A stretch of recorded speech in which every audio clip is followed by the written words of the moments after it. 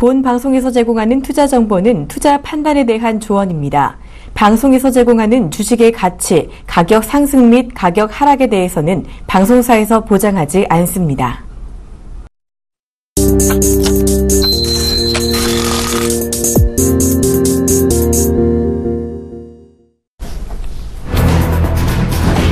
중국의 10월 승용차 판매량이 작년 같은 기간보다 15% 증가했다고 중국 고무정보 무역망이 9일 전했습니다. 중국 전국 승용차 시장 정보 연합회의 통계에 따르면 세단과 스포츠 유틸리티 차량, 다목적 차량을 포함한 중국의 10월 승용차 도매 판매량은 187만 9,055대로 작년 같은 기간보다 14.9% 증가했습니다. 지난달 판매량이 크게 증가한 것은 중국 정부가 지난 9월 발표한 소형차 세금 인하 조치 때문으로 풀이됩니다. 최근 중국 증권감독관리위원회의 기업 공개 재개 결정이 장기적으로 중국 금융시장에 긍정적인 영향을 줄 것이라는 분석이 지배적으로 나타나고 있습니다. 증감회는 최근 지난 6월 말 중단했던 28기업들의 IPO를 연내 재개할 계획이라고 밝혔습니다. 이에 따라 전일 중국 증시는 IPO 재개 기대감에 1.58% 급등했습니다. 글로벌 무역이 일반적으로 글로벌 침체와 관련한 수준에 근접하고 있다고 경제협력개발기구 OECD가 9일 밝혔습니다. OECD는 이날 보고서를 통해 중국이 경기 부양에 나서고 일부 국가들의 내년 성장이 확실함에도 글로벌 무역이 위험 수준으로 둔화하고 있다고 경고했습니다. OECD는 또한 올해 글로벌 GDP 성장률도 지난 9월 발표한 종전의 3.0%에서 2.9%로 하향 조정했습니다. OECD는 지난해 11월 당초 올해의 성장률을 3.7%로 전망한 이후 수차례에 걸쳐 하향 조정한 바 있습니다. 골드만삭스가 브릭 시대의 끝을 알렸습니다. 9일 영국 일간 파이낸셜 타임스 등 외신에 따르면 골드만삭스는 지난 9월 미국 증권거래위원회 공시를 통해 브라질과 러시아, 인도, 중국에 투자하던 브릭 펀드를 더 광범위한 신흥시장 펀드로 통합한다고 밝혔습니다. 브릭 펀드가 출범한 지 9년 만으로 지난 5년간 펀드의 수익률은 마이너스 21%를 기록하는 등 저조한 수익률이 그 원인이 됐습니다. 브릭은 지난 2001년 골드만삭스의 당시 짐 오닐 수석 이코노미스트가 만들어낸 말로 2010년에는 남아프리카 공화국까지 더해져 브릭스로 묶였습니다. 한국의 수출 물가 지수가 무려 28년 10개월 만에 최저치를 기록했습니다. 저유가에 원달러 환율이 하락한 상황에서 디램, 휴대폰 등 주력 수출품 가격이 동시에 큰 폭으로 떨어졌기 때문입니다. 한국은행에 따르면 10월 원화 기준 수출 물가 지수는 82.12로 전월 대비 3.5%, 전년 동월 대비 6.2% 감소했습니다. 이는 지난 1986년 12월 이후 최저치입니다. 수입 물가 지수도 7년 11개월 만에 가장 낮았습니다. 수출입 물가가 큰 폭으로 동반 하락하면서 한동안 잠잠했던 디플레이션 우려가 다시 제기될 가능성도 높아졌습니다. 한미약품이 연구개발 파워를 앞세워 연일 사상 최고가 행진을 이어가고 있습니다.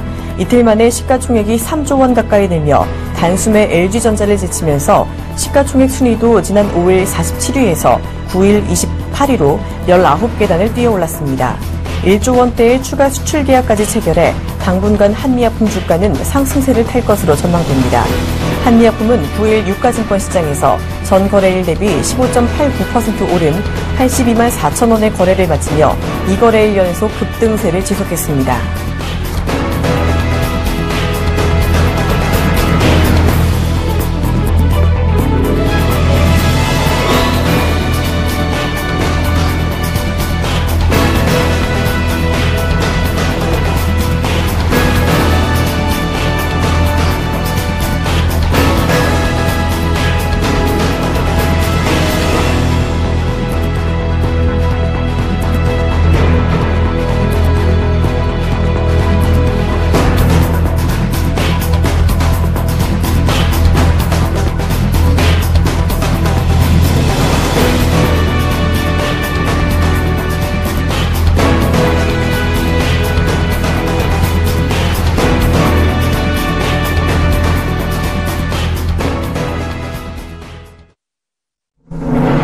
안녕하십니까. 출발 증시와이드 박진영입니다.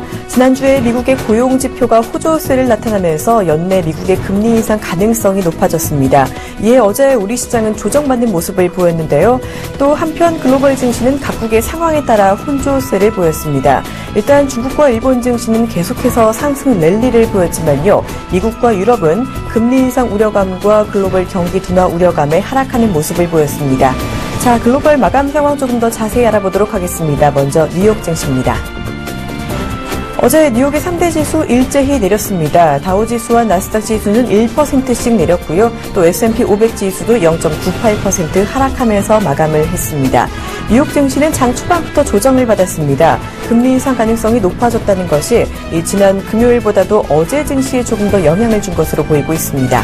여기에 더해서 중국의 무역 수지가 불황형 흑자로 나타났던 것, 그리고 OECD가 이 세계 경제 성장률 전망을 하향한 것까지 전체적으로 투자 심리를 위축시킨 것으로 나타나고 있습니다.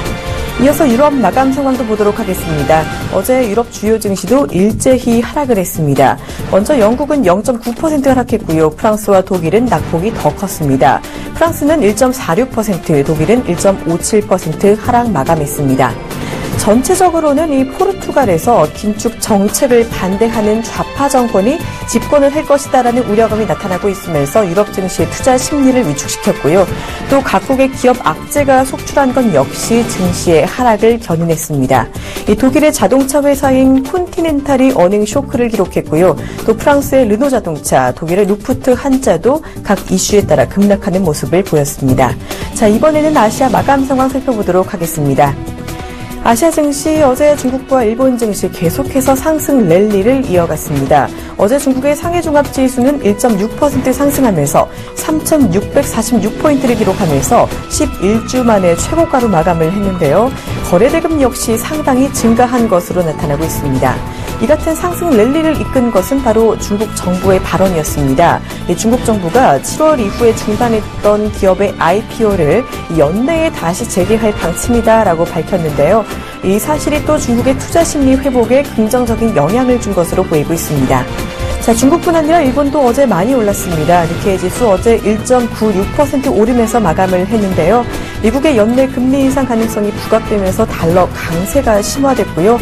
이에 엔저 현상이 이어지면서 증시의 호재로 작용한 것입니다. 어제 엔달러 환율은 123엔선을 보이면서 지난 8월 이후 최고치를 기록했습니다. 자, 이처럼 아시아 시장이 계속해서 랠리를 보이고 있는 가운데 아쉽게도 우리 시장은 어제도 부진한 흐름을 보였습니다. 조금 더 자세한 국내 마감 상황 짚어보겠습니다. 우리 코스피와 코스닥 어제 양시장 모두 큰 조정을 받았습니다. 코스피보다도 코스닥의 낙폭이 조금 더 컸는데요.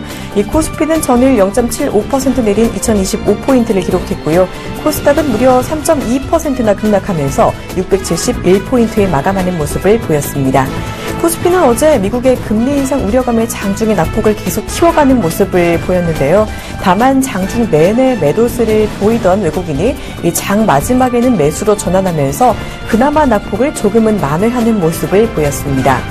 전일 잘 올랐던 한리약품과 일부 제약바이오주 그리고 금융업과 보험을 제외한 대부분의 업종이 하락세를 보였고요. 특히 어제 현대상선과 한진해운이 정부의 합병 추진설로 급락하는 모습을 보였습니다. 코스닥에서는 이 저성장에 빠진 중소기업들을 대상으로 이 정부가 한계 기업 정리를 추진한다라는 소식에 투자 심리가 전반적으로 위축된 것으로 나타나고 있습니다.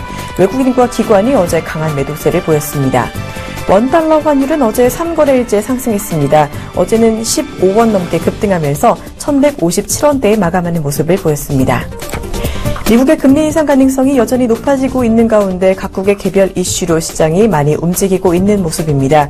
우리 시장은 어제도 강한 조정을 받았는데요. 오늘은 이 조정세를 조금은 회복할 수 있을지 지켜보셔야겠습니다. 출발 증시 와이드 지금 시작합니다.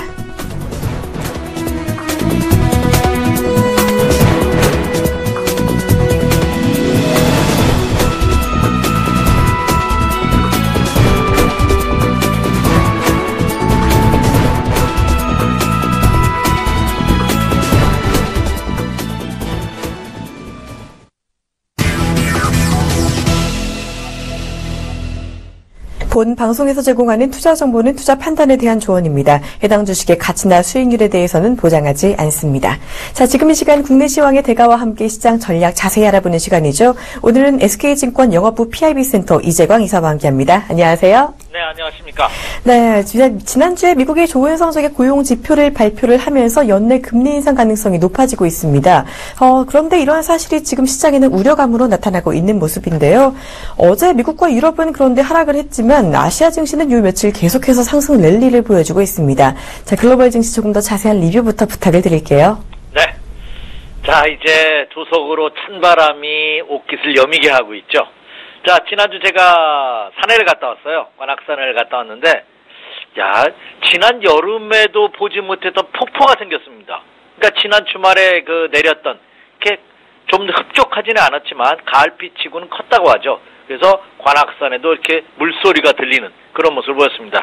예, 역시 좋지 않나 생각이 되는데 여러분들께서도 이 주식 투자하시면서도 건강관리 유념해서 해주시기 바랍니다. 이렇게 말씀을 드립니다. 자, 이제 옷깃을 여면 추운데요. 이 주식시장에도 이제 다시 썰렁한 찬, 찬바람의 고기압의 영향으로 썰렁한 기운이 느껴지냐, 한파가 오는 것이 아니냐 하는 우려감이 대두되고 있습니다. 그만큼 연말 산타랠리를 앞두고 있는 시점에서 과연 연말장이 있느냐의 여부가 여전히 크다는 이슈로 작용하는 그런 모습인데요. 오늘 새벽에 끝난 뉴욕 증시도 큰 폭의 조정을 받았죠. 자, 먼저 전일 상황부터 한번 살펴보도록 하겠습니다. 먼저 미국부터 한번 보죠.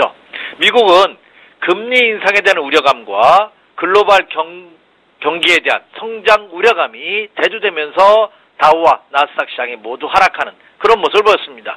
다우는 179포인트가 하락했고요. 나스닥 시장도 51포인트가 하락하면서 다우는 17,700포인트대로 주저앉았고요. 또 나스닥 시장도 5,100포인트가 붕괴되는 그런 모습이 펼쳐졌습니다. 자, 그런데 오늘 앵커께서도 언급해 주셨지만 이 다우의 하락한 요인이 미국 금리 인상 때문에 그렇다고 합니다. 근데 이것은 이미 지난주에 예고되었던 것이고 발표가 됐었죠.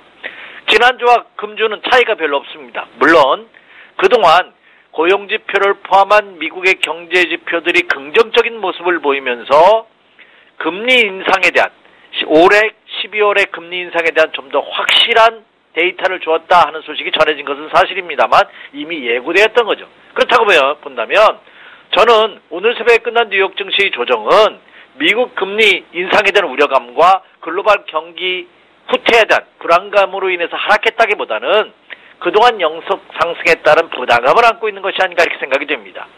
다우를 기준으로 본다면 다우조수 공업지수를 기준으로 본다면 18,000포인트 저항선대를 기점으로 도달하고 나서의 조정이 아닌가 이렇게 생각이 됩니다. 또한 여기에다가 OECD죠.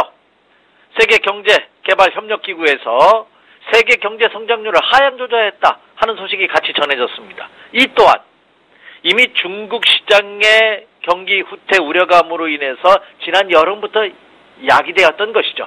그러다 보니까 그렇다면 지금 미국 증시의 하락을 애널리스트들이 하락 요인을 분석했는데 이것은 새로운 것이기라기보다는 미국 증시가 하락하다 보니까 거기다 갖다 그냥 껴 맞추기식의 사후 약방문식의 어떤 전략이 아니었나 이렇게 생각이 됩니다. 자 그럼 결론은 뭐냐? 자 결론을 내기 전에 먼저 다우존스 공업지 일봉 차트의 모습을 보면서 다시 한번 살펴드리도록 하겠습니다. 자, 미국 시장 한번 띄워주시죠. 자, 미국 시장의 모습을 화면에서 여러분 보고 계신데요. 제가 제시해드린 바와 같이 18,000포인트의 저항선대를 앞두고 돌파를 앞두고 있는 시점입니다. 이미 제가 밑에 자막에 이제 지지선이라고 제시해드렸는데 이게 17,500포인트죠. 오늘 새벽에 끝난 다우존스 공업지 종가가 17,730입니다. 그러면 17,500포인트 라인은 좀 더 강력한 지지선이 형성되고 있다고 보 여줄 수가 있겠죠. 그래서 자 지금 제가 자막에도 써놨습니다. 예고된 조정이다 이거죠. 지난 9월 말 10월 초부터 가파른 상승세를 보였죠. 한 달 이상. 그에 따른 자연스러운 눌림목의 과정이 아닌가 이렇게 생각이 듭니다. 그리고 추가 하락 시에는 17,500포인트에 놓여있는 강력한 지선대 근접하고 있기 때문에 추가 하락 시에는 저점 매수에서 형성될 가능성이 높은. 자 그렇다고 본다면 오늘 새벽에 난 뉴욕 증시 양대 시장의 조정은 말씀드렸다시피 어떤 그동안의 상승을 마, 무리하면서 이제 하락 반전의 신호라기보다는 연속 상승했다는 그렇죠? 한 차례 저항선대를 앞두고 있는 시점에서의 눌림목의 과정이 아닌가 이렇게 생각이 됩니다. 자 이제 유럽 증시로 가보도록 하겠습니다. 유럽 증시도 조정을 받는 모습을 보였죠. 근데 유럽 증시는 좀 하락폭이 좀 깊은 그런 모습을 보였습니다. 네, 그 이유는 자 유럽 연합 국가 중에 하나죠. 유로존 국가의 하나 유로존 국가 중에 하나인 포르투갈이 그 선거 지난 4일날 선거가 끝났는데 38.6%로 저 우파 정당이 승리를 했어요. 그런데 좌파 연합 세력이 연합을 형성했다 하는 소, 식과 함께 이 정권을 좌파 정부한테 넘겨줄 가능성이 대두된다 하는 소식으로 인해서 이 포스, 포르투갈 증시가 4%가 넘는 급락을 실현했습니다. 그 여파로 유로존 시장이 일제히 하락하는 그런 모습을 보였거든요. 그래서 포르투갈이 4.1%를 하락을 필두로 해서 영국이 0.9% 그리고 독일이 1.57% 그리고 프랑스가 1.46% 어, 영국을 제외하고선 대부분 1%가 넘는 큰 폭의 하락을 실현하는 그런 모습을 보였습니다. 자, 결론부터 짚어드릴까요? 유럽 증시도 미국과 마찬가지로 그동안 연속 상승했다는 조정의 양상에다가 포르투갈의 악재가 가미되면서 하락폭이 좀 깊었다 뿐이지, 그렇죠? 이것으로 인해서 추세 이탈이라고 보기에는 어렵다는 점입니다. 자, 독일 닥스지수 일봉 차트 한번 보도록 하겠습니다. 자, 이미 이 시간을 통해서 여러, 여러분에게 여러 차례 강조해 드린 바와 같이 이미 독일 증시도 아, 전형적인 상승 패턴입니다. 더군다나 11,000포인트 1차 저항선 돌파를 앞두고 있는 시점에서 돌파 후에 눌림목의 과정이 아닌가 이렇게 생각이 됩니다. 그래서 저는 유럽 증시도 독일 증시를 예로 들어서 설명드리자면 조정의 폭은 크지 않을 것이다. 밑으로 하락하는 조정이라기보다는 옆의 기간 조정의 가능성이 높지 않을까 이렇게 전망이 되고 있습니다. 그렇다고 본다면 유럽 증시 오늘 급락 또한 이미 예고된 조정이었지 않았나 여기에다가 포르투갈 사태가 하락폭을 좀 더 키웠다 하는 정도로 이해해 주시면 편안하지 않을까 생각이 됩니다. 자, 이제 아시아 증시로 가보도록 하겠습니다. 자, 어제 아시아 증시는 아주 활짝 웃는 그런 모습을 보였죠. 아시아 시장의 두 마리 큰 시장, 응? 제일 아시아 시장에서 제일 큰 일본과 중국 증시의 모습은 활짝 웃는 그런 모습을 보였습니다. 일본 증시는 엔화 약세 국면이 지속되고 있다 하는 소식과 함께 1.96%큰 폭의 상승을 실현하면서 전형적인 상승 패턴을 이어가는 그런 모습을 보였고요. 자, 미국과 더불어 세계 증시를 움직이고 있는 중국 시장 역시 상승을 한 그런 모습을 보였죠. 모두의 미국 시장이 글로벌 경기에 대한 불안감으로 인해서 하락했다는 말씀을 드렸습니다. 여기서 글로벌이라는 표현을 썼습니다만 주 주축이 뭡니까? 중국이죠. 이 중국 시장에 대한 우려감이 여전히 대두되고 있죠. 그로 인한 하락과 하락 여파다 이렇게 말씀드리는데 오히려 중국은 어떻게 됐습니까? 중국은 오히려 상승하는 그런 모습을 보였죠. 중국 시장은 어, 경기 전망 불투명에도 불, 구하고 지난 7월달 이후 그렇죠 중지됐던 IPO 업무를 재개하겠다 하는 중국 당국의 발표에 의해서 큰 폭의 상승을 실현하는 무려 1.6%가 상승하는 그런 모습을 보였습니다. 자 상해 종합지수 일봉 차트 한번 보도록 하겠습니다. 자 이미 제가 지난주 화요일 이 시간을 통해서 바 로 일주일 전이네요. 중국 증시는 이동평균선의 한 점에 수렴하고 있기 때문에 이것은 급락 아니면 급등의 패턴이다.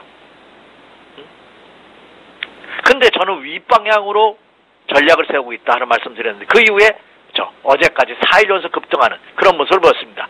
상해종합지수 일봉 차트 한번 보죠. 네. 지금 보시는 바와 같이 예, 4일 연속 차, 장대 양봉으로 상승하는 그런 모습입니다. 완전히 상승 전환이 확인된 모습이죠. 오늘 같은 경우에는 미국 증시가 설서 상승했다 하더라도 아침 시초가 갭상승해서 상승 출발하면 한번 차익 실은 매도 물량이 나오겠죠. 왜? 아무리 강세장이라 하더라도 3, 4일, 4, 5일 상승하면 하루 이틀 조정받는 것이 인지상정입니다. 그렇다고 본다면 그렇지 않아도 조정받을 차이에 미국 시장 시가 조정받았기 때문에 중국 시장도 오늘 다소의 조정을 받겠죠? 하나치면 어때요?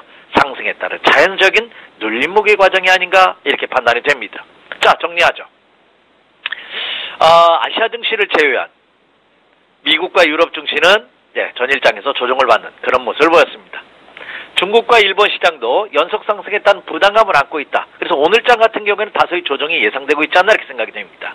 자, 그렇다고 본다면 해외 증시 조정은 이미 어느 정도 예고된 충분히 인내할 수 있는 폭의 조정이었다는 점에서 본다면 오늘장의 하락으로 인해서 국내 주식시도 다소 출렁거릴 수는 있지만 그렇죠 상승 기조가 붕괴된 것이라기보다는 연속 상승했다는 조정의 가능성, 조정의 모습으로 여러분 어, 이해해 주셔도 좋겠다 이렇게 생각이 됩니다. 네, 무엇보다도 이 미국과 유럽의 조정, 하락 반전의 신호라기보다는 예정된 눌림목이다라는 이야기를 해주셨습니다. 또 중국 증시도 오늘 조정을 받을 수는 있지만 많이 오른 데에 따른 조정인 만큼 이 글로벌 증시의 하락에 대해서 너무 우려하지는 않아도 괜찮겠다라는 이야기까지 해주셨고요. 자, 이처럼 또 미국의 금리 인상에 대한 우려감에 어제 국내 시장도 조정을 조금 받았습니다. 이 그 중에서도 특히 어제 코스닥의 낙폭이 아주 컸는데요. 어제 전체적인 국내 증시도 자세한 리뷰 부탁드립니다. 네. 자, 지난 목요일에서 이제 오늘은 여러분에게 코스닥 시장 분석을 해드리겠다는 말씀을 이미 드렸습니다. 특히 전일장에서 코스닥 시장이 3%가 넘는 급락을 보였어요. 자, 이제 코스닥 시장이 본격적인 하락이 아니냐 이렇게 우려하시는 분이 큽니다. 자, 그렇다면 현 시점에서 우리가 어떤 투자 전략을 세워야 되는지 국내 주식시장 한번 전략 한번 세워보도록 하죠. 자, 국내 증시는 지금 앞에 모두에는 제가 좀 긍정적인 말씀을 드렸는데 좀 안 좋은 소식을 한번 두 가지 한번 전해드릴게요. 두 가지입니다. 국내 증시 체크 포인트입니다. 첫째, 자 오늘 새벽에 끝난 뉴욕 증시와 유럽 증시가 하락한 이유 중에 하나죠. 미국 금리가 만약에 12월 달에 인상을 한다면 어떻게 될 것이냐 하는 겁니다. 그로 인해서 지금 선진국 시장뿐만 아니라 신흥국 시장이 더 문제예요. 신흥국 시장의 자금들이 계속해서 빠져나가고 있다고 합니다. 우리나라도 예외는 아닙니다. 지난달에 매수위를 보였던 외국인 투자가들이 이달 들어서는 지난 5일 이후부터는 매도위를 보이고 있습니다. 그 가장 큰 이유가 뭐냐? 미국 금리 인상에 따른 신흥국 시장의 자금 유출 규모가 얼마나 될 것이냐? 이게 초미의 관심거리입니다. 최근 들어서 국내 시장에서 외국인뿐만 아니라 국내 기관 투자가들도 매수를 꺼리고 있어요. 오히려 매도위를 보이는 날이 많습니다. 그 여파로 국내 주식시장이 그렇죠. 대망의 2050포인트 돌파 후에 조정을 받고 어제 큰 폭의 조정을 받는 그런 모습을 보였죠. 이게 체크 포인트입니다. 자, 근데 이 암이 앞서서도 외국인 투자가들의 매매 규모 매도하는지 매수하는지 여부가 중요하다는 말씀 드렸는데 그 체크 포인트가 뭐라고 말씀드렸습니까? 왜 환율입니다. 어제 외국인 투자가들이 대규모의 매도율을 보였습니다. 근데 그 가장 큰 이유 중에 하나가 뭐입니까? 원달러 환율 동향이 어제 환율이 15원 이상 급등하는 그런 모습을 보였습니다. 10원도 많은데요. 이렇게 환율 폭이 막 두 자릿수로 급변동을 하면 외국인 투자가들은 그렇죠 불안해할 수밖에 없죠. 이게 증시 악재입니다. 더군다나 상승을 했어요. 환율이 상승했다는 얘기는 뭐죠? 원화 가치가 급락했다는 얘기입니다. 이렇게 된다면 외국인 투자가들은 환차손을 우려해서도 매도할 수밖에 없지 않는 생각이 됩니다. 어느 정도 움직였는지 한번 보죠. 원달러 환율 동에 한번 차트 한번 띄워주시기 바랍니다. 자, 전일 환율이 급등하면서 무려 1157원 1150, 1150원대를 돌파한 급등 양상을 보시면 차트를 한번 보세요. 갭상승 이후의 장대 양봉입니다. 이게 주식시장으로 본다면 전형적인 상승 패턴의 모습이죠. 추가 상승이 가능한. 근데 환율과 주가는 완전히 역상관 관계는 아닙니다만 환율이 급등하는 상황에서 주가가 상승하기 굉장히 부담입니다. 그래서 외국인 투자 동향, 특히 외국인 투, 투자자들의 매수 매도 동향을 판단하기 위해서는 환율 시장 체크해 봐라 하는 말씀 여러 차례 강조해 드렸습니다. 오늘도 환율 시장 한번 체크해 주시기 바랍니다. 이렇게 말씀드리고요. 자, 두 번째는 자, 이게 연말이 다가오면서 정부가 대주주에 대한 요건을 강화했습니다. 이게 무슨 얘기냐? 대부분의 우리 개미 투자자들, 일반 투자자들은 큰 상관은 없습니다. 주식에 1%, 2% 이렇게 갖고 있는 분도 없고 상장 주식 중에 어? 주식 투자 규모가 뭐 몇십억 되시는 분도 그렇게 많지 않죠. 일부 큰손 세력들이 얘긴데 하지만 이것이 시장에 절대적인 영향을 줍니다. 왜냐하면 큰손 세력들이 시장을 움직이기 때문에 그렇죠. 과거에는 코스피 시장에서 50억 그리고 2% 이상을 갖고 있어야지만 대주주라고 저기 판명을 했죠. 근데 이것이 절반으로 줄었어요. 25억에서 1%만 갖고 있으면 대주주입니다. 코스닥 시장도 40억에서 40억 이상에서 4% 이상이었는데 이것이 20억과 2%로 변경이 됐어요. 절반이 줄어들었다는 얘기죠. 그러니까 자금 규모가 좀 되신 분은 20억 이상 투자자 하면 대주주 요건에 판명돼서 세금을 양도소득세 크게 냅니다. 그 여파로 인해서 연말 일부 종목에 대한 우려감이 대두되는 그런 모습이 복합적으로 작용한 것이 아닌가 생각이 됩니다. 과연 이것이 어떻게 물량을 소화할지 여부 한번 체크해 줄 필요가 있지 않나 생각이 됩니다. 그래서 국내 시장의 향후 연말까지 투자 전략을 세우는 데 있어서 이 두 가지 체크해 주시기 바라고요. 또 하나는 자 이미 지난주 얘기드렸던 코스닥 시장. 과연 국내 코스닥 시장 개인 투자가들이 비중은 코스피 시장보다 코스닥 시장이 훨씬 더 많죠. 과연 이 코스닥 시장 어떻게 할 것이냐 하는 겁니다. 자, 그러면 차트부터, 준비한 차트부터 보도록 하겠습니다. 자, 제가 이미 정확하게 그 자막에다 제시해드려서 한번 그대로 읽어볼게요. 아직 기간 주, 조정 중이다. 추가 하락은 제한적일 것이다. 상승은 타이밍 조절이 필요하다. 제가 세 줄로 압축시켜드렸습니다. 어제 장에서 장대 음봉이죠. 일부 기술적 분석하시는 분들은 모든 이평선을 붕괴시키는 음봉이기 때문에 추가 급락의 가능성이 크대요. 근데 제가 파란색 타원과 빨간색 원을 그려놨습니다. 파란색 원은 뭐죠?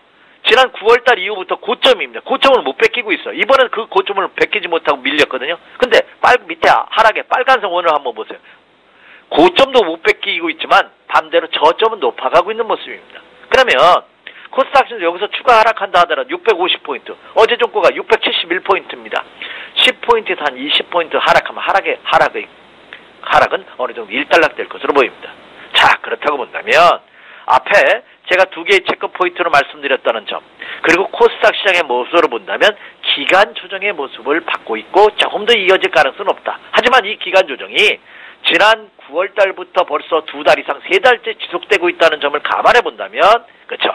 그 이 기간 조정 이후에는 상승 가능성 충분히 있는 그런 모습이 아닌가 이렇게 생각이 됩니다. 자 그렇다고 본다면 그렇다고 본다면 이 코스닥 시장도 투자자분들께서 그 점을 착안한 가운데 템포를 조절할 필요는 있지 않나 생각이 됩니다. 자 다음에 투자 전략 한번 살펴보죠. 가장 여러분이 궁금하실 겁니다. 자 그렇다면 이미 제가 지난주까지는 좀 더 추세적인 매매 전략을 세우자 하는 말씀 드렸습니다. 자 그럼 투자 전략을 앞 저기 말씀드리기 앞서 국내 코스피 시장 한번 보도록 하죠. 먼저 차트 한번 보도록 하겠습니다. 자, 코스닥 시장도 잠대 음봉으로서 기간 조정 가능성이 높은데 코스피 시장도 어제 조정을 받으면서 다시 2050포인트에서 뚝 떨어진 모습으로 마감되는 그런 모습을 보였습니다. 2020포인트 때까지 하향하는 그런 모습을 보였죠? 자, 그래서 한번 차트 한번 보시도록 하겠습니다. 차트를 한번 보시면 일봉 차트의 모습을 보면 그렇죠? 큰 추세 이탈이라고 볼 수는 없지만 추가 조정에 대비해야 되는 특히 2050포인트의 저항선을 돌파한 이후에 다시 완전히 그 이탈함으로써 옆으로 횡보하는 기간 조정의 가능성이 있는 그러니까 저항선 돌파 이후에 눌림목이고 금주는 어느 정도 기간 조정이 예상되고 있는 그런 모습이 아닌가 생각이 됩니다. 특히 금주는 옵션 만기일이죠. 내일 모레가. 물론 quadruple witching day 선물과 옵션이 동시 만기가 이루어지지는 않습니다만 역시 한 마리 마녀가 장을 휘저을 수 있는 변동을 할 수 있는 그런 옵션 만기 주간이고요. 또 외생 변수들이 굉장히 많습니다. 국내외적으로. 더군다나 우리와 같이 외국인 투자가들에 의해서 크게 좌우 좌지우지되는 이런 상황에서는 더욱더 그렇죠. 자, 그럼 결론입니다. 금주는 옵션 만기를 포함한 외생 변수론, 외부 변수론에서 장중 변동성의 심화가 예상되고 있다. 특히 선진국 시장에서 단기 차익 실현 물량 출회가 예상되는 그 1차 저, 그 저항선 때 연속 상승에 따른 과일권대에 진입한 그런 모습을 보여주고 있기 때문에 외부로부터의 영향, 긍정적인 영향도 금주는 받기는 힘들 것이다. 그렇다고 본다면 국내 시장도 코스피 시장이나 코스닥 시장이나 금주는 매수 템포를 좀 조절할 필요가 있지 않나? 일부 상승 시에는 한번 이익 시현을 해줄 필요도 있지 않나? 그래서 금주는 좀 더 보수적인 그런 투자 전략이 요구되고 있다. 이렇게 말씀을 드립니다. 네, 연말까지 봐야 되는 국내 시장 체크 포인트 특히 원달러 환율의 동향이 중요하다라는 이야기까지 해주셨습니다. 자, 환율 움직임 잘 보셔야겠고요. 이번 주에 우리 시장 대내외적인 변수에 더해서 옵션 만기일까지 겹치면서 기간 조정을 받을 수 있다라는 이야기까지 해주셨습니다. 자, 지난번에는 이사님께서 매수 관심 업종에 더해서 종목까지 자세히 짚어주시면서 이 시청자분들 반응이 상당히 좋았는데요. 자, 오늘 저는 조금 매수를 지체해 보는 게 좋겠다라는 이야기까지 해주셨는데 어떤 전략 전략을 또 가져가야 될까요? 네. 자, 이제 종목은 이번 주는 좀 더 신중하셔야 됩니다. 지난주까지는 좀 더 조금 이렇게 루즈하게 그렇게 하셔도 되겠는데 금주부터는 좀 조심하셔야 됩니다. 물론 두려워하실 필요는 없어요. 설사 자 우리 개인 투자분들이 제일 잘하는 게 뭡니까? 갖고 버티는 거죠. 그죠? 너무 버텨도 되지 않지만 지금은 갖고 버텨도 되는 장입니다. 어제 급락했고 오늘도 설사 해외 증시, 미국과 유럽 증시 하락으로 인해서 하락한다 하더라도 어제보다는 국내 시장 하락폭이 적을 것으로 예상이 됩니다. 하락한다 하더라도. 자, 그래서 하락은 조정할 필요 없지만 매수는 저 템포를 좀 조정할 필요 있겠, 있지 않나 생각이 듭니다. 그래서 사실 금주는 지난주 언급해드렸던 종목에 크게 변화는 없습니다. 그래 그 종목을 관심을 갈 때 매수 템포는 좀 조절하자. 특히 한무, 한 한미약품이 홈런을 두 방을 연달아 쳤죠. 5조 원대에 가까운 수출 계약. 어제는 또 1조 원대의 추가 수출 계약. 아, 한미약품 못 갖고 계신 분들은 아마 아쉬워하지 않을까 생각이 됩니다. 이미 이 시간을 통해서 제가 제약 좀 많이 언급해 드렸는데, 근데 한미약품도 이제 3일째 상승이죠. 말씀드렸다시. 그러면 오늘은 3일째 상승한다면 또 오늘도 고점 대비 또 눌림목을 받을 가능성이 높습니다.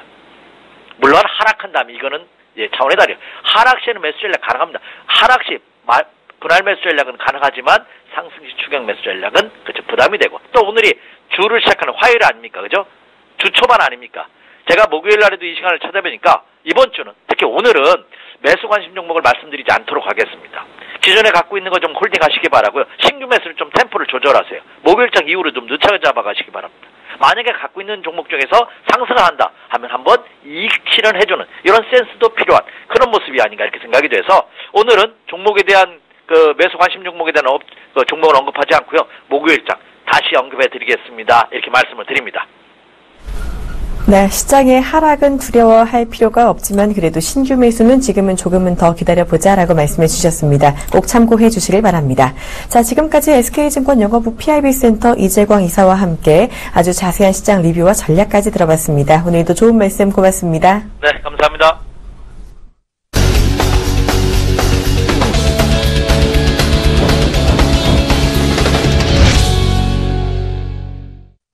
전일 야간 선물 시장 마감 상황 알아보면서 오늘장 시초가 예상해보고 전략까지 알아보는 시간입니다. 자, 지금 이 시간 선물 옵션 전략가 샘플러스 김선철 멘토 연결해 보도록 하겠습니다. 안녕하세요. 예, 반갑습니다. 안녕하십니까? 네, 안녕하세요. 어제 일단 야간 선물 마감 상황과 특징부터 짚어주시죠. 예, 어제 야간 선물 종가가 크게 많이 하락을 많이 했습니다. 어, 시장 선물 시장에 비해서요. 약 0.90 포인트 하락 마감한 248.35에 지금 마감을 했는데 이 자리가 지금 코스피 환산 지수를 약 2008 포인트에서 2011 포인트 정도를 예상을 지금 하고 있는데 어, 개인 같은 경우는 714억 정도를 지금 순매수를 했습니다. 그 이하 반면에 지금 외국인 같은 경우는 1275계약을 지금 순매도를 했고요. 기간이 500, 561억 정도로 순매수를 했는데 여기서 우리가 좀 눈여겨봐야 될 게 뭐냐면은 일단 야간 선물 시장에서도 외국인들의 그 순매도 물량 누적분 누적분이 계속해서 증가를 해서 어제죠 오늘 새벽 종가까지 본다면 약 2021계약 정도가 지금 누적분으로 나와 있기 때문에 아마 지금 모레 목요일 날 그 만기일 옵션 만기를 앞두고 포지션의 방향을 지금 어떤 사이클 쪽으로 지금 외국인들이 기조를 갈 수 있을지 이 부분이 조금 어 지금 우리가 눈여겨봐야 될 어, 시장 포커스가 아닌 이제 그렇게 좀 보여주고 있는 입장 반면에 일단 베이스가 0.86이라는 굉장히 지금 안 좋은 지금 숫자 부분이 나왔습니다. 그렇기 때문에 앞으로 콘텐츠와 베이시스 부분을 우리가 어떤 시각으로 좀 바라볼 수 있어야 될지 이 부분이 가장 큰 어, 숙제로 남아 있는데 외국계 자금 이탈이 계속해서 이어진다는 부분이죠. 그래서 이 부분을 좀 본다면 유럽계 미국계 자금보다는 유럽계 자금 이탈이 어제 엊그저께 지금 월요일부로 해가지고 금요일까지 굉장히 지금 크게 이탈이 지금 되고 있는 입장입니다. 그렇기 때문에 어, 지금 글로벌 증시 쪽으로 본다면 유럽 증시도 굉장히 크게 지금 소폭 하락도 많이 했습니다. 그렇기 때문에 앞으로 이 영국계 자금과 프랑스계 자금이 어느 정도까지 우리나라 증시를 계속해서 받쳐줄지 이 자금까지도 한번 우리가 좀 눈여겨봐야 될 포커스가 아닌가 그렇게 좀 보여주고 있습니다. 네, 말씀해 주신 대로 야간 선물 상황이 크게 하락했던 상황에서 오늘장도 이제 좀 조정을 받지 않을까 예상을 해볼 수 있을 것 같습니다. 자, 오늘장 시초가는 어떻게 예상을 하시는지요?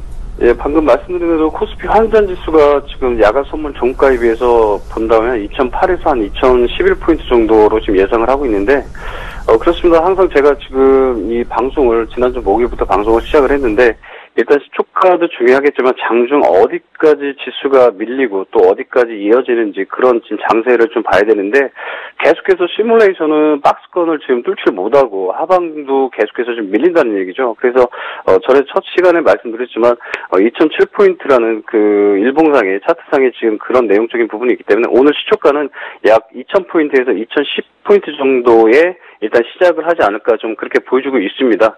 그래서 이미 뭐 악재는 다 발표가 된 상태죠. 그래서 미국 금리 12월 인상 반영과 중국의 무역 지표 부진으로 어, 글로벌 증시의 하락이 아마 지금 크게 요인을 했고요. 지금 방금 말씀드린 대로 어, 유럽 증시까지도 하락을 마감을 했죠. 그리고 이제 국내 증시의 어떤 모멘텀이나 펀더멘탈이 좀 소멸이 된 상태고 그리고 이제 앞으로 이제 배당 시즌이 됐지만 이 펀드 환매 물량이 꾸준히 지금 기간 투신권을 통해서 이어진다는 부분도 아마 오늘 시초가에 어떤 큰 방영을 좀 시켜줄지 이제 그 부분이 이제 좀 우리가 어 일단은 숙제로 좀 남아 있는 부분인데 제 생각은 그렇습니다. 일단은 시초가 부분은 항상 어느 정도 시작, 시작을 해서 어디까지 밀렸다가 오르는지 그 부분을 한번 우리 시청자분들께서 좀 관건하게 좀 지켜보실 대목이기 때문에 오늘 시초가 예상은 2000포인트에서 2010포인트 사이로 지금 움직임이 있기 때문에 약 좀 데미지가 좀 큰다면 전일, 이, 어, 어제 2025포인트에서 지금 종가 마감을 했는데 약 한 2010포인트 정도에서 어, 시작을 하지 않을까 좀 그렇게 좀 보여주고 있습니다.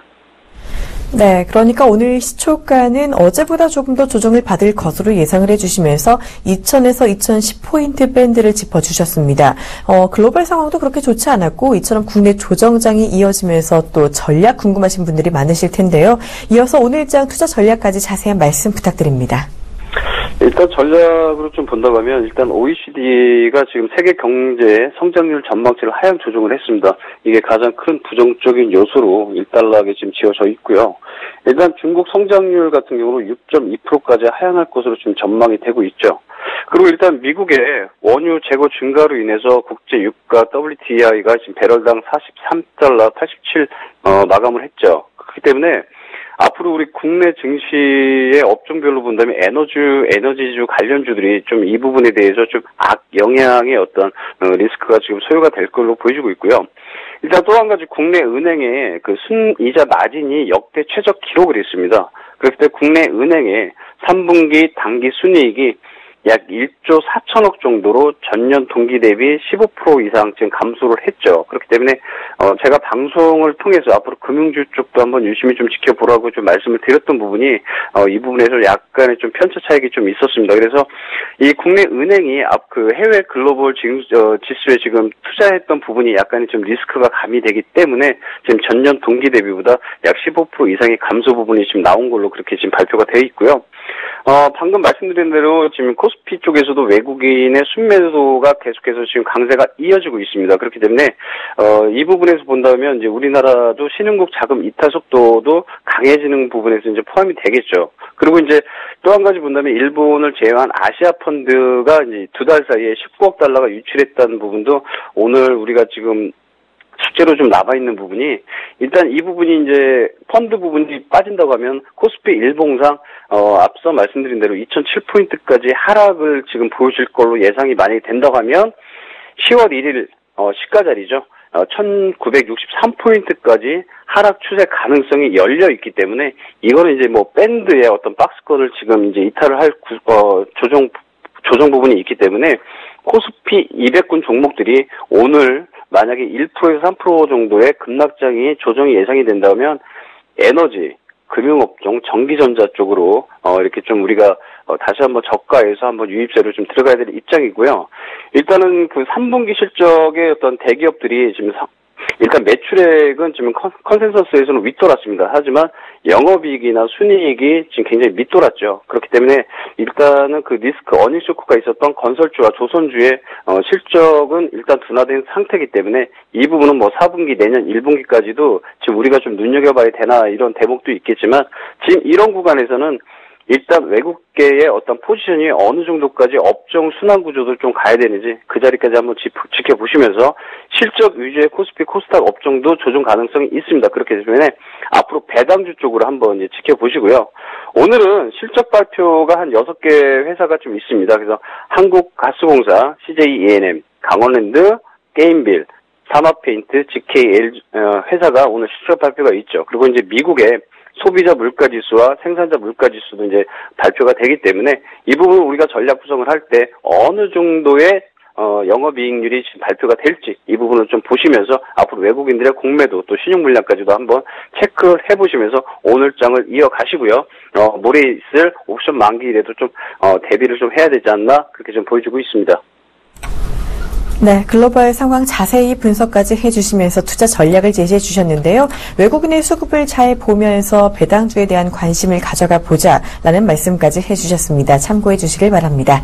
자, 이렇게 야간 선물 마감 상황에 더해서 시초가 예상 지수 그리고 자세한 투자 전략까지 들어봤습니다. 지금까지 샘플러스 김선철 멘토와 함께했습니다. 고맙습니다. 감사합니다.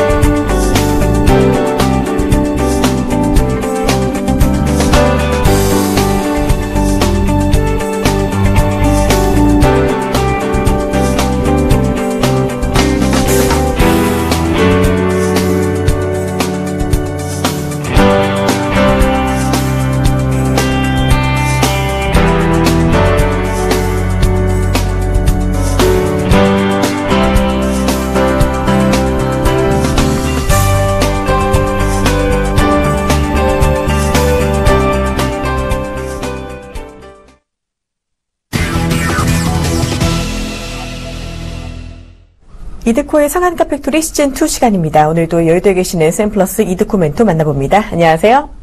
반갑습니다. 네, 반갑습니다. 자, 제약바이오가 며칠 동안 랠리를 보였는데요. 어제 멘토님이 말씀하신 그대로 이 한미약품을 제외한 제약바이오주들의 변동성이 아주 크게 나타났습니다. 자, 그 중에는 급락했던 종목도 많이 나타났었는데요. 상승한다고 무작정 따라가지 말자라는 말씀, 어제 정말 정확한 전략이었습니다. 이 멘토님 말씀을 듣고 일단 위험 회피하시는 분들 좀 많으셨을 것 같은데요.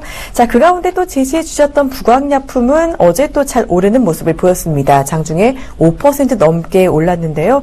이 종목도 상승할 때 매도 관점을 보는 것도 괜찮다라고 해주셨는데 오늘은 또 어떤 전략으로 대응을 해야 되는지 오늘도 현명한 말씀 부탁드립니다. 네, 뭐 어제 이제 뭐 앵커님께서 말씀해 주셨지만 어, 말씀드렸던 그런 부분들이 정확하게 좀 일치가 되면서 어, 제약바이오 섹터의 급락이 좀 나오는 그런 모습이었습니다. 아, 한미약품이 상한가가 풀렸을 때 어, 그때 이제 제약바이오 섹터들의 급변동성이 좀 예상되는 그런 부분이기 때문에 어, 절대로 상승하는 제약바이오 섹터에 대해서 어, 따라잡지 말자라고 어, 누차 좀 말씀을 드렸는데 자 이것이 이제 현실화가 돼서 어제 코스닥 지수 마이너스 3% 정도 급락을 하는 그런 모습들. 사실 이제 어제 많은 종목들이 급락을 하는 나, 어, 모습이었지만은 지난주에 이제 말씀드렸던 것이 지난주 금요일에 사실 우리가 과거로 좀 되돌아보면은 지난주 금요일에 제약바이오 섹터의 상승에도 불구하고 어, 결국 이제 지수가 약세로 마감했던 어떤 그런 금요일이었기 때문에 이번에 제약바이오 섹터의 상승이 없었으면은 지수 흔들릴 가능성에 대해서 계속적으로 말씀드린 어, 부분이었는데 어, 부분들이었는데 저도 어제 사실 이제 너무 많이 좀 급락을 해서 깜짝 그 놀랐던 그런 상황이었습니다. 자 코스닥 지수 마이너스 3% 정도 급락을 하는 그런 모습들. 자 21선이 너무 쉽게 무너지는 그런 상황이었죠. 코스피 지수도 21선이 무너진 상황에서 자, 오늘 같은 경우는 개파 출발이 좀 예상이 되는데, 자, 저점적인 부분들, 일단 2010포인트에 대한 저점 유지에 대한 부분들이 상당히 좀 중요해질 것 같습니다. 자, 그동안에 이제, 어, 제가 말씀 좀 드렸던 것이, 2020에서 2060포인트까지 이 단기 박스권에 갇혀있는 그런 모습이기 때문에, 지금 구간에서 21선 무너진다라고 했을 때, 20, 어, 2010포인트까지 하락 가능한 그런 수치다라고 원형 천정형, 장기적인 원형 천정형이다라고 좀 말씀 좀 드렸기 때문에 일단은 그에 대해서 오늘 좀 확인 어, 확인 작업이 좀 필요할 것 같고요. 자 그리고 코스닥 지수 같은 경우에도 일단은 670포인트까지 내려온 그런 상황인데 제가 이제 꾸준히 이제 설명을 드리면서 코스닥 지수 설명을 드리면서 말씀 좀 드렸던 것이 코스닥 지수, 코스닥 지수 61선이 저항에서 지지로 전환되는 그런 과정이었기 때문에 이 구간에서 박스권 상단을 돌파하기 위해서는 어느 정도 600, 어, 600, 어, 668포인트, 668포인트에 대해서 지지 여부가 상당히 중요한 그런 상황이기 때문에 자 오늘 같은 경우 668포인트가 무너지게 된다면은 다시 한번 박스권 하단 어, 하단 정도까지의 열림폭, 그래서 하락폭 좀 가능한 그런 수치이기 때문에 자 오늘 상당히 좀 중요한 그런 부분들이지 않나 싶고요. 자 결국에는 이제 한미약품이 이제 목표 주가가 이제 100만 원이 나오고 나서 또 이제 기술 수출 관련된 에로 관련된 그런 관련된 그런 공시가 1조 가까이 좀 나와준 그런 상황에서 시간의 거래에서도 어제 같은 경우에 상승하는 그런 모습이었지만은 제가 생각했을 적에는 어, 현재 한미약품 한미약품의 거래량적인 측면들 어, 그리고 일단 상승 후에 역대 최 최다치로 거래량이 지금 터져주고 있는 그런 부분이기 때문에 현재 구간에서 따라잡는 것은 위험을 자초하는 어, 그런 일이다 라고 좀 생각하고 있기 때문에 trading 관점에서도 이 종목은 제외하는 것이 어, 어떤 현명한 방법이지 않나 싶고요. 자, 예전에도 이제 뭐 삼성전자가 목표 주가 200만 원 나오고 얼마 있지 않아서 급락을 했던 그런 부분들이 있었지만은 이 한미약품 이번에 정말 100만 원을 목표 주가대로 100만 원 간다라고 한다면은 증권사 목표 주가 아, 정말 대한민국 주식시장 이후에 최초로 맞아 떨어지는 그런 부분이기 때문에 제가 봤을 때는 거래량이 터진 상황에서 추가적인 폭등은 가능성이 사실상 없는 그런 부분들이지 않나 싶기 때문에 제약바이오 섹터 보유하고 계신 분들께서는 아, 지속적으로 말씀 좀 드리는 것이 상승한다고 멍하니 어, 가만히 계지 마시고 대응을 해야 된다라고 누차 언급을 좀 드렸던 겁니다.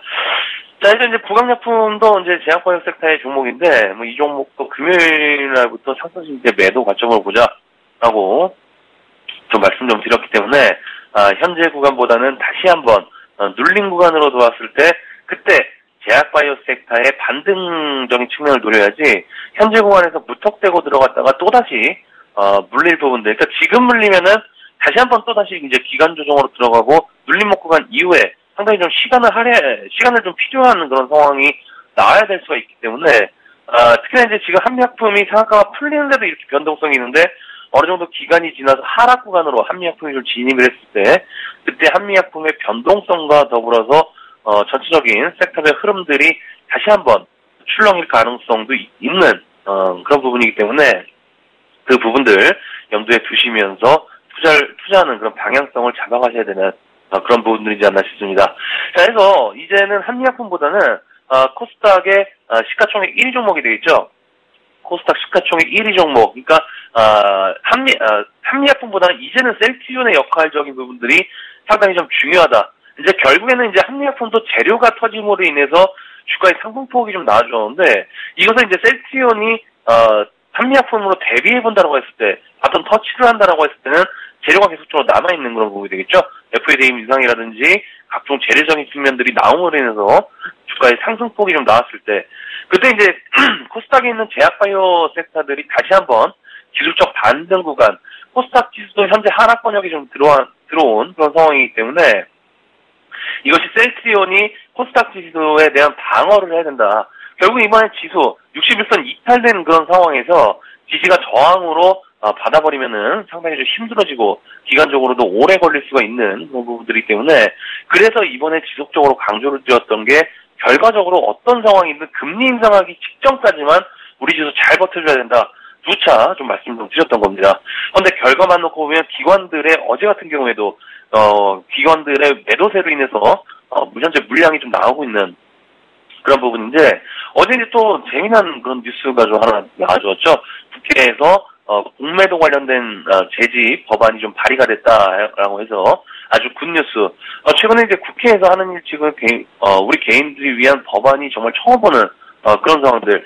자, 결국 이제 이러한 뉴스들이 어느 정도 투자 심리 자체를 어, 코스피 지수나 코스닥 지수나 뭐 살아나게끔 하려는 그런 부분들이 나올 수가 있는 어, 가능성이 있기 때문에 어, 주가가 많이 급락을 한 종목들, 종목들. 최근에 들어서 잔고가 감소되는 그런 종목들, 아, 종목군들 위주로 short covering이 아, 나올 법한 아, 그런 상황이기 때문에 보유하고 계신 종목들 너무 빠졌다고 해서 상실감 들지 마시고 자신감을 가지고 대응하셔야 되는 그런 부분이다. 라고 좀 말씀 좀 드리도록 하겠습니다. 자, 그런 의미에서 이제 위메이드 같은 경우, 이제 어제 같은 경우에도 한 3% 정도 지수 하락, 어, 하락폭이 있어서, 어, 하락하는 그런 모습이 나와줬죠. 어, 일단은 대차잔고가 현재, 어, 어제 같은 경우에 큰 폭으로 좀 감소한, 어, 그런 모습이 되겠습니다. 10월 달에 증가됐던 대차잔고를 하루 만에, 아, 상환한 그런 모습들. 자, 일단 뭐 한 6만 주, 6만 5천 주 가까이 대차잔고가 좀 줄어든, 어, 그런 모습인데, 자, 일단은 현재 구간 조금씩 장중 저가로 계속적으로 경신하고 있는 그런 상황이 되겠죠.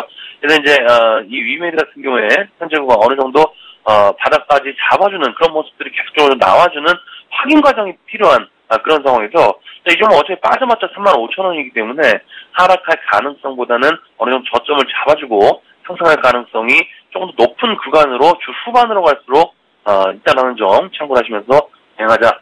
하고 좀 말씀 좀 드리도록 하겠습니다. 자, 해서 어, 일단은 뭐 어제 어, 전에 이제 마지막으로 멘트를 좀 말씀을 좀 드릴 때 아, 지수 21선 지지 여부, 지수 21선 지지 여부 그리고 어, 제약바이오 섹터 같은 경우에는 한미약품의 상한가가 풀렸을 때 그때 이제 제약바이오의 변동성에 대해서 계속적으로 이제 언급을 좀 드렸습니다. 그런데 저는 일단 뭐 어, 정확하게 급락이 좀 나아졌던 그런 부분이기 때문에 전일 급락에 대한 되돌림이 나온 나올지언정 너무 어, 무리해서 따라잡지 마시고 자 지난 어제도 이제 말씀드렸었죠. 어, 현재 구간 제약바이오 섹터 특히나 이제 제약바이오 섹터 어, 상승하는 종목들 상승하는 종목들이 실적이 안 나온 종목들 실적이 안 나왔는데 실적이 어, 예상치보다 부합돼 부합 부합돼 부합에 못 미친다거나 적자의 어떤 그런 흐름들이 좀 나왔을 때 그때 그 하락폭이 동반해서 나올 수 있다는 점 반드시 좀 체크를 하시고 어, 일단 상승하는 종목들 어, 실적 발표 이전에 있는 종목들은 어느 정도 수익권에 있는 종목들은 차익 실하시는 것도 좋다라고 좀 생각하고 있기 때문에 자 그 부분들 염두를 좀 해주시면서 자 현재 이제 어, 전 세계 글로벌 어, 어, 주식시장 글로벌 주포들이 어느 정도 하락의 빌미를 지금 찾고 있는 어, 그런 과정이기 때문에 보유하고 계신 종목들 위주로 대응하시면서 주 초반까지는 한 템포 쉬는 그런 전략으로 말씀 좀 드리면서 지수 2010포인트 어, 지지 여부 체크를 좀 해보자 하고 좀 말씀 좀 드리면서 정리를 해드리도록 하겠습니다. 오늘 스마트 팩토리는 여기까지입니다. 고맙습니다.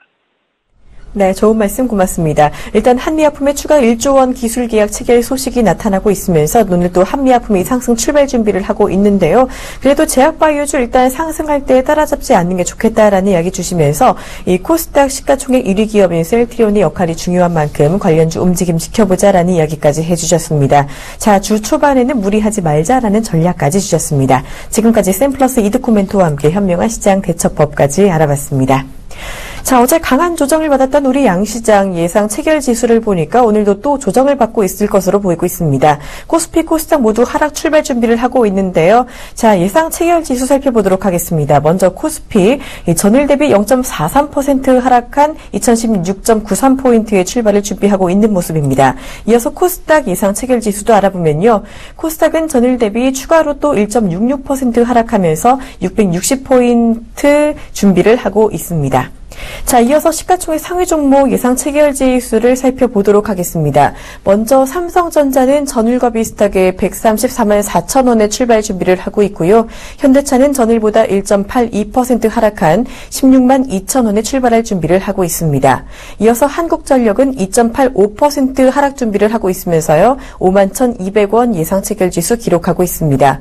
삼성물산은 전일보다 0.68% 오름세로 출발할 것으로 보입니다. 14만 8 8,000원에 출발할 것으로 나오고 있습니다. 삼성전자 우선주 같은 경우도 113만 9천원에 출발 준비를 하고 있습니다. 자, 이어서 현대모비스는요, 역시 보합권 움직을 보이고 있습니다. 25만 3,500원에 움직일 것으로 보이고 있고요. SK 하이닉스 같은 경우 추가 하락을 준비하면서 2.24% 3만 550원 출발 준비를 하고 있습니다. 이번에는 코스닥 시가총액 상위 종목 알아보도록 하겠습니다. 셀트리온은 1.43% 상승하면서 출발할 준비를 하고 있습니다. 78,100원에 출발할 것으로 나타나고 있고요. 반면에 시가총액 2위인 카카오는 2.70% 하락하면서 11만 1,900원에 출발할 준비를 하고 있습니다. CJ ENM 같은 경우는 2.52% 상승한 8만 5,500원에 출발 준비하고 있고요. 메디톡스는 2.23% 하락하면서 47만 원에 출발할 예상을 준비를 하고 있습니다. 자, 이번에는 바이로메드입니다. 보합권에 준비를 하고 있고요. 지금 파라다이스는 0.66% 오르면서 23,050원에 출발 준비를 하고 있습니다. 로엔 같은 경우는 2.02% 하락한 72,800원에 출발 준비를 하고 있고요. 컴투스는 1.73% 오르면서 11만 7,500원에 출발 준비를 하고 있습니다. 자, 오늘장 특징주인 한미약품 예상 체결지수 보겠습니다. 지금 현재 15.29% 상승 출발 준비를 하고 있네요. 95만 원에 출발 준비를 하고 있는 모습입니다. 네, 오늘 장도 대응이 상당히 중요할 것으로 보입니다. 출발 증시 와이드 1부는 여기서 마무리하고요. 저는 잠시 뒤 2부에서 개장 상황 함께 하도록 하겠습니다. 고맙습니다.